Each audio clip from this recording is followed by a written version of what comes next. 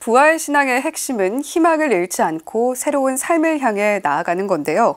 그리스도인들에게 진정한 희망이란 무엇이며 또 주님 안에서 어떻게 희망을 찾을 수 있을지 프란치스코 교황이 전하는 희망의 메시지를 책으로 옮긴 가르멜 수도의 윤주현 신부와 함께 오늘 말씀 나눠보도록 하겠습니다. 신부님 어서 오세요. 예, 안녕하십니까. 네, 가톨릭 교회가 지금 현재 부활 8일 축제 지내고 있잖아요. 예. 신부님께서는 어떤 마음으로 부활을 맞이하셨을지 궁금하네요. 예, 제가 평소에는 신학교에서 강의를 하는데 어, 부활 방학을 맞이해서 저희 인천에 있는 저희 가르멜 수도원에서 신부님들과 함께 어, 그 성삼일을 보냈습니다. 네. 보내면서 어, 특히 이제 성 목요일, 성 금요일, 성토일이 그이 전례가 주는 강한 메시지들이 있지 않습니까? 이것을 다시 한번 어, 새롭게 어, 되새기는 시간을 가졌고요. 무엇보다도 어, 저는 개인적으로는 바로 이러한 그 부활의 메시지 예, 그리고 또한 예수님의 순환 속에서 드러나는 예, 하느님의 사랑의 메시지를 다시 한번 어, 묵상했는데요. 그러나 어, 오늘날에는 어, 뭐 이러한 그 메시지가 아직까지 여전히 그 현재 진행 중에 있고, 그러니까 네. 많은 어려움 속에서 고통받는 사람들, 민족들이 있지 않습니까? 바로 어, 그러한 상황 속에서 아직까지 이러한 메시지가 아, 충만하게 실현되지 않은 것을 보면서 참 많이 안타까워했던 마음도 있습니다. 그래서 기도하는 마음으로 또 보내기도 했습니다. 네.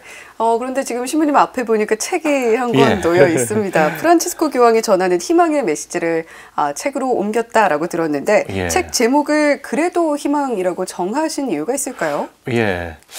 오늘날 우리 인류는 에, 그 과학 기술 문명이 어, 고도로 발달하면서 사실 어, 이 문명의 이기 속에서 어, 인류가 어, 정말 대단한 희망을 유토피아를 갈구하며 살아가지만 사실 현실을 살아가는 우리들의 모습 그리고 그 전 세계의 어떤 그런 그 상황을 보건대 결코 희망적이지 않다는 거예요. 희망을 갈구하고 구원을 갈구하지만 그러나 여전히 어, 표류하는 가운데 살아가는 인류의 그 어, 그런 그 암울한 모습. 오히려 그래서 오늘이야말로 우리가 살아가는 이 시대야말로 개인적으로나 어, 국가적인 차원에서 볼 때, 전 인류 가족의 차원에서 볼 때 그 어느 때보다도 정말 구원의 메시지, 바로 희망의 메시지가 필요하다는 것이죠. 어, 그래서 어, 뭐 이 책은 교황님께서 2016년 겨울부터 2017년 봄까지 네. 어, 이 로마를 순례하는 그 순례객들에게 하신 강론집입니다. 그 당시 어, 어, 아울라 파울로 섹스도 예, 바오로 6세 어, 교황님 이름을 탄 그 대강실에서 하신 그 강론인데요. 이 강론을 어, 현 교황님께서는 주제별로 하셨어요. 그래서 네. 그해 겨울에는 희망이라고 하는 메시지를 가지고 특히 그 대림과 사순 시기를 에, 보내도록 초대하셨습니다. 그래서 이 책에 보면은 그 당시 교황님께서 그, 어, 바로 이 대림 예수님의 에, 탄생을 기다리면서 그리고 또 사순시기를 보내면서 어떻게 우리가 진정 그리스도인으로서 신앙인으로서 희망해야 되는지를 아주 집약적으로 표현하고 계십니다. 네. 그런데 저희가 부활 축제 기간을 지나면서도 가끔은 또 삶을 살아가다 보니까 예. 절망에 빠질 때도 있고 비탄에 예, 빠질 예. 때도 있습니다. 그렇죠. 어떻게 해야 희망을 좀 찾을 수 있을까요? 예, 저는 무엇보다도 어, 성경에서 그 희망의 메시지를 찾을 수 있다고 생각하는데요. 어, 탈출기 3장 14절에 보면은 하느님께서 모세에게 에, 가르치신 당신의 이름이 있지 않습니까? 네. 나는 있는 자 그러다. 이것은 무엇을 의미하는가 하면은 바로 아브라함의 하느님, 이삭의 하느님, 야곱의 하느님, 즉 어, 어, 우리 선조들의 어, 하느님이라고 하는 것, 그들의 어, 삶 속에서 굽이굽이 함께 하시면서 그들의 슬픔과 좌절 속에서 힘이 되어 주시고 희망이 되어 주신 하느님이라고 하는 것이죠.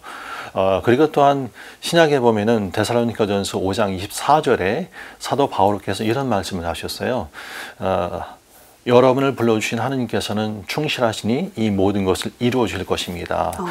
그러니까 우리가 아무리 이 우리의 이 삶 속에서 많은 좌절과 어, 고통 속에 살아간다 하더라도 주님께서 우리를 위해서 준비하신 그 계획이 있고 우리를 모두 불러주셨다면 분명 당신은 우리 모두에게 하신 그 약속을 끝까지 이루어 주실 분이라고 하는 그런 하느님의 충실하심이야말로 우리 인생의 그리고 우리 인류 가족의 궁극적인 희망의 메시지라고 생각을 합니다. 바로 그것을 우리들은 삶 속에서 끊임없이 되새기며 주님이 우리와 함께 하신다는 것 그리고 우리에게 하신 약속을 끝까지 이루어 주신다는 것을 믿고 희망할 때 정말 우리의 삶 속에 새로운 희망의 에, 비전이 생기겠죠. 네, 아, 성경 구절 이야기를 해주셨는데 새로운 삶과 희망으로 한 발짝이라도 더 나아가고 싶은 분들을 위해서 본보기가 될 만한 인물이 있다면 좀 소개해 주셔도 좋겠네요. 예, 성경에 참 많은 인물이 있는데 그리고 교황님께서 이 책에서 강론을 통해서 소개하신 인물들이 여러 명 있는데 그 중에 대표적으로 아브라함을 저는 좀 있겠습니다. 네. 아시다시피 아브라함이야 그 믿음의 아버지 아닙니까? 근데 우리가 알고 있는 것과는 달리 아브라함은 참 인간적으로 많은 고통과 좌절 속에 살았던 인물입니다. 어.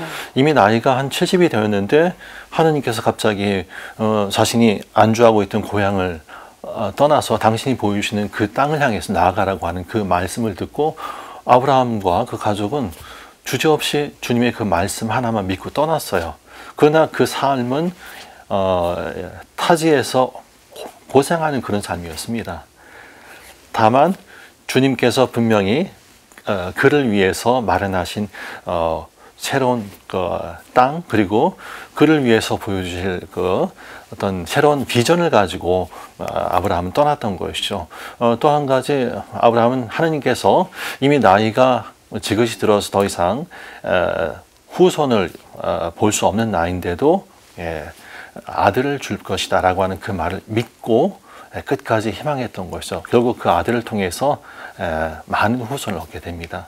네. 자, 그렇다면 이제 좀 핵심적인 질문을 여쭤봐야 될 것 같습니다. 예. 그리스도인에게 진정한 행복 뭘까요? 예.